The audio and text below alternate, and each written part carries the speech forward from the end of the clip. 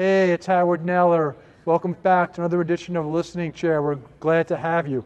We're here in downtown Manhattan in New York at Spring Studios for Marantz's 70th anniversary celebration. I was here last night. We had a great rooftop party, and we're here today, and we're going to get a tour from the Marantz historian of some really cool vintage Marantz gear, which tells the story of Marantz as a company.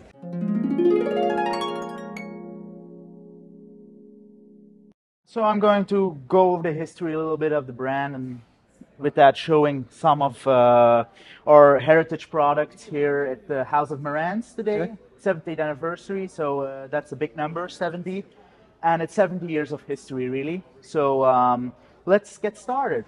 Um, 1953, this guy, Saul Marantz. Here's a picture of the early 1930s when he was at school. He had a car stereo and he wasn't satisfied with the sound. So that car stereo he modified and he did all kinds of things with it. But eventually he decided to create a unit, really, the audio consolette like we, um, we know it now, or the Model 1 later was remodeled, uh, well, redesigned and also renamed Model 1, which he listened to a lot of records. He listened to a lot of like um, uh, 78 RPM records. Okay. And those had different equalizations. Right. And uh, different curves.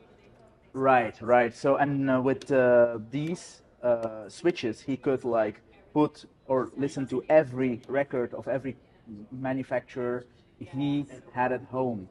So he started selling these as well. He started giving them out to friends, and it was a huge hit. He built these in uh, his basement in Kew Gardens, okay. five miles down the block. And um, yeah, really a nice unit. And he had so much success with this here in New York. He had to hire a chief engineer, which was Sidney Smith. Uh, he came from Radio Craftsman in Chicago, and um, he redesigned this unit. Was rebranded Model One, and um, so they started a company, right? They started the Marantz company. They okay. were first based briefly in Manhattan, then they were based out of uh, Long Island City in Queens, and they had a couple of locations, mainly because the, the space, the factory was too small, and they had to upgrade because there was so much demand. So uh, then we continue into the 1950s. So uh, 1958 was an important year because stereo rolled around the corner in 1958. Okay. Um, and a model called Model 7C was released. We don't okay. have one of display today, but this is the Model 7T, which looks almost the same. Only these uh, little knobs were bakelite and not aluminum. Okay. And it had a black switch and uh, some tubes in the back. This was a later unit, so they rev revised the Model 7C into the Model 7T. And um, so they had this Model 7T stereo preamplifier, right? And you could. They also uh, designed the Model 9. This was all Sid Smith's um, work creations. Yes. Um, so the Model 9 is really interesting because it, it, made use of the porthole, like we call it today. It wasn't called that back in the day, right. but now we call it that. You, it was a test meter really. So these ha- they have there are four EL34s in here. So push pull, 70 watts RMS to 8 ohms. Okay. And um, you could really test these. So put bias test, so bias your tubes in the unit. So you didn't need any any tube test, any tube, any test equipment, any scopes. No, you could as end user, you could okay. like behind this. If I get the cover open, yes, there, there are bias. Um, trimmers. So these trimmers, you go in with a screwdriver and you test with the meter, and if they're correctly biased, they're on this uh, mark, right. which was really revolutionary in that time to have something you um, to have something an uh, end user can do. This is an important unit, the Model 10B. Um, initially, uh, three years of um, production uh, and also uh, designer costs. Um, originally, there was a Model 10, which had two less two knobs less here okay. in, um, on the unit, but they had some problems with the back. They had some filters that were too close to the tubes. They were it got too hot, so they redesigned it.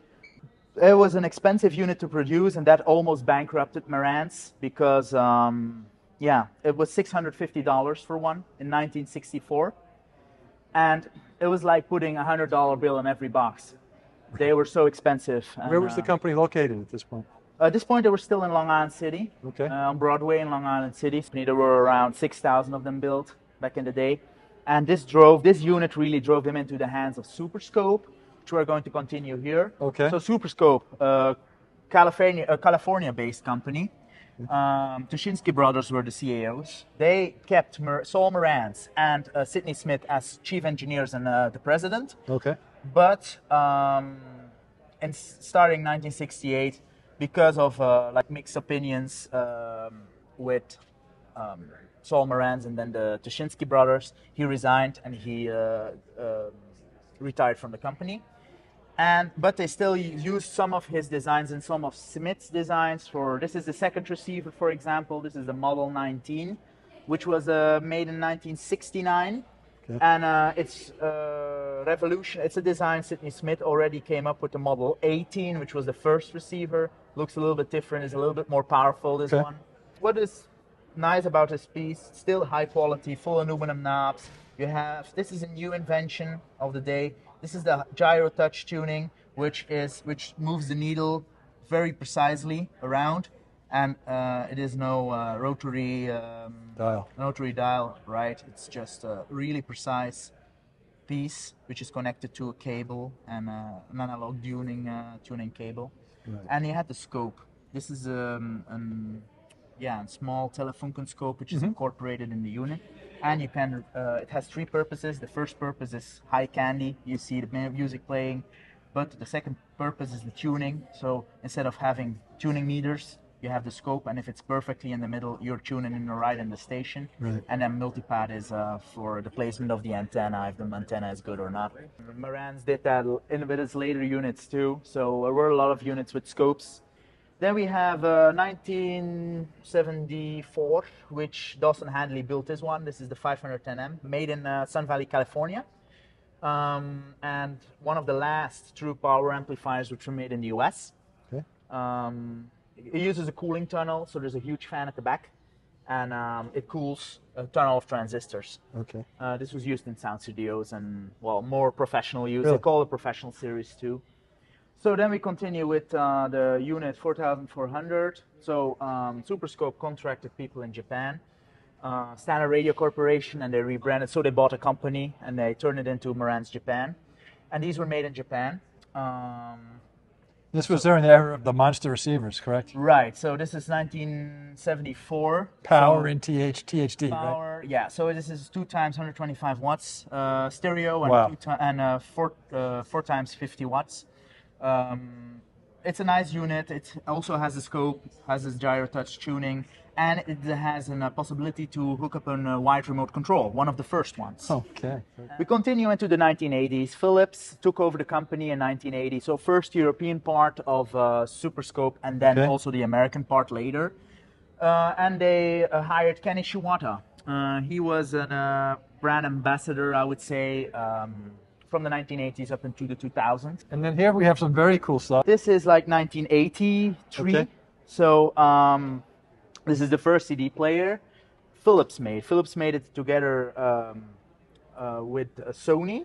So they did together the compact disc player, and actually this is a CD100 rebranded with Marantz because they were owner back then. Right. And you see they have the description of the unit uh, actually printed on the unit. It says this CD63 compact disc player is the equipment which incorporates a new optical sound play system utilizing laser array.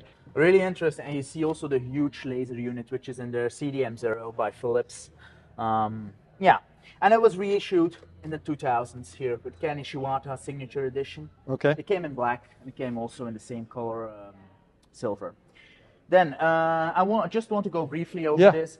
They um, they incorporated again the porthole. This is a CD player as well, 2000 CD player, and they use this as a track, so elapsed time, and also the um, yeah uh, the, the minutes and the number um, of the track that's Media information, playing. right. Right.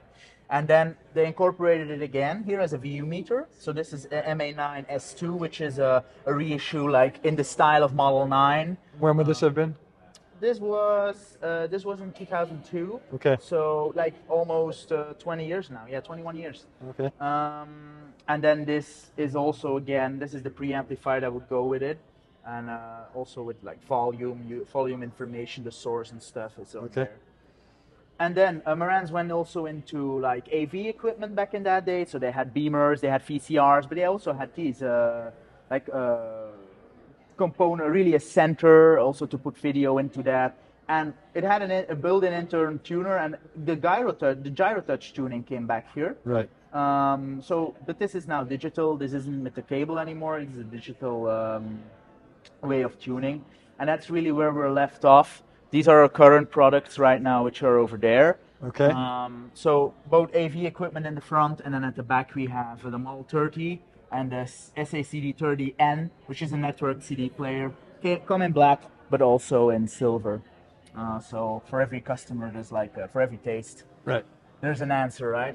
Well, thank you so much for taking us uh, through a tour of this super interesting uh, Marantz equipment, uh, talking about Marantz history. If we want to find out more about Marantz history, where can we go? So uh, I'm actually only on Instagram. I'm on at Marantz History. It's very simple, and you can find me there. I post um, I post videos, photos of vintage equipment, and I also go and visit my followers, Marantz History on tour, etc. So if you want to check it out, that's the place to be. Thank you so much. Bye bye.